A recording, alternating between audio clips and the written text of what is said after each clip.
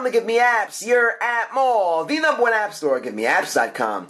Download apps for any smartphone or tablet. If you're a developer, pay no developer fees, keep up to 100% of your profits, and withdraw your earnings by PayPal whenever you want. No app store, let's do that.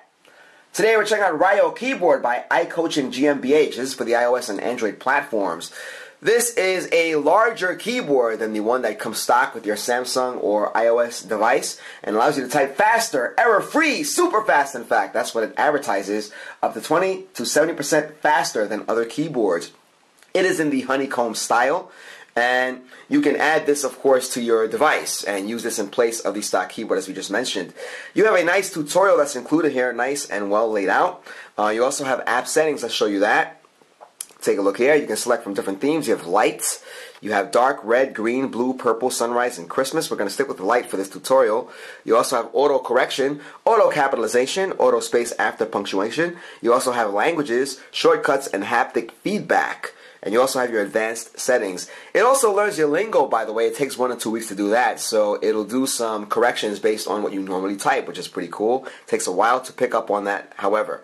We're going to go back to the main screen, take a look at your tutorial. We'll walk you through that. Swipe or tap on the arrow to start. You can enable the keyboard and select the keyboard, which we did already. Uh, you can select your language. That will affect the characters that do display.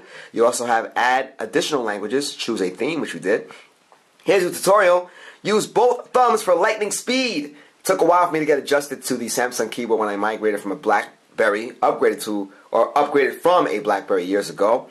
And uh, this is more in line with what you would experience maybe on a laptop. That's how I feel anyway. Uh, you can, of course, give your space keys over here, by the way, as well. Take a look at that. Capitalize and alternative characters. Uh, you can type uh, hello WRIO. And by the way, to get uppercase letters, capital, you swipe up. If you type that, okay, it says typo because we didn't type in hello WRIO. If you just tap that, you get the lowercase letter. So you have LLO. You have your space bar over there. Now, I'm not using my thumbs only because I'm in front of the camera, but take a look at this. You swipe up, you swipe up again. Uh, it says uh, typo, swipe up, swipe up, bang, and there it is. And you see that it um, confirms that we did type it in correctly. Now to delete text, you just swipe to the left. Take a look at that. Well, not there, but in the space, on the keyboard rather. So if you do this, you um, delete one by one. If you do like that, you swipe long, then um, you delete the entire line, which is nice as well. We can move on from there. We're going on with the tutorial. Uh, to restore text, you go this way. Take a look at that, one at a time and uh, if you hold it out, it'll um, put the text back there. Now we uh, got rid of uh, one of the lines just now the other way, which is why it doesn't show up. And you have your emojis and special characters. If you tap on this here, take a look at that. You all of these characters show up, which is great. And if you swipe up, of course you'll get the emojis. Remember to get the um, characters that are at the top of each uh, key, you need to swipe up. All right, and there are all your all of your emojis. You have over 1,000 emojis that are included. And so, you know, there is your tutorial. We're going to get out of there. You can type up to four different characters. This one is a little tougher to get, but once you master it, you'll, of course, be a master. You can tap this to get that, for example. If you swipe up, you get the one on the top. If you hold, you get the one to the side over there. Take a look at this. And if you hold and swipe, you got the one on the bottom over there, right? And you can barely see that because uh, they're very similar, the quotation versus the apostrophe. And uh, long press for uh, diacritics, you can do that, all right? And that would all depend on the language setting on your keyboard. We're sticking with English. Swipe down anywhere to undo the last correction at the beginning of a sentence. Swipe down twice, all right? So that's the tutorial. We're going to go on in and type in a message. Let's do that. So I'm going to get out of there, go to our messages, and you see the keyboard pops up. We have this selected. You need to enable the keyboard in order to use it, and you need to always keep that in mind. Now, we're typing to no one. We're just demonstrating the keyboard here. So if we swipe up, uh, let's just do hi. If we tap once, now that's the first letter, so it's going to capitalize it. And if you notice here, it's now lowercase. If we swipe up, once again, it's capitalized. And we can do that. So we are going to do some deleting. And don't forget, you swipe that way to delete. I'm going to now pick up the device and use my thumbs here. We're going to type as if we would normally type. So, hello. And uh, we'll just do what we did before. Don't forget you tap on these for the space bar. I mean, there's no space bar on the bottom, so for spaces you do that.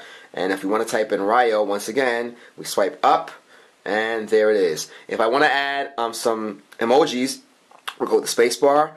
Don't forget, this is your one, two, three, your numerical key, and your emojis. We'll swipe up, and there we are. And um, we'll put some smiley faces there. A couple of these, you have different emojis you can choose from. Take a look at that. And you have your flags and stuff, which is great. And of course, these are your regular stock emojis. So this is fairly straightforward. Um, we are a little over five minutes here. This is a wonderful keyboard. I don't think I'm going to um, get rid of this app. It's going to stay on the device for quite some time. It's a nice alternative to the stock Samsung keyboard, and it's pretty easy to pick up on, right? Uh, the Samsung keyboard tries to follow what you would experience on a laptop or a standard keyboard, which um, in some cases is quite uncomfortable. Even though I've had Samsung devices for years, um, you're taking that entire keyboard and you're condensing it into a very small space. At least with this, uh, the keys are a lot larger. And there are other keyboard apps on the market. Uh, this one was uh, backed by Kickstarter funds. You can check out the information on the listing. And of course, it's available for iOS and Android. And you saw us demonstrate that here on camera. It is 199. Keep that in mind. The price may change. We're just putting that out there because um, that's the current price.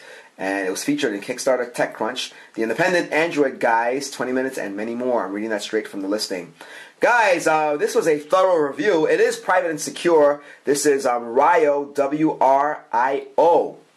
Might be Rio, I say Rio. Sounds better. Guys, you are checking out our YouTube channel, youtube.com slash appmall. Give me apps as the world's number one independent app store. Download any Android app. Check out our iPhone and Windows Phone showcases. If you're a developer, check this out. You pay no developer fees. You get to keep up to 100% of your profits and withdraw your earnings by PayPal whenever you want. No app store anywhere. Let's do that. This is WRIO Keyboard. This is by iCoaching GmbH for the iOS and Android platforms. We reviewed it on a Samsung Galaxy 7 Edge. We hope you enjoyed this review as much as we did, guys. Till next time.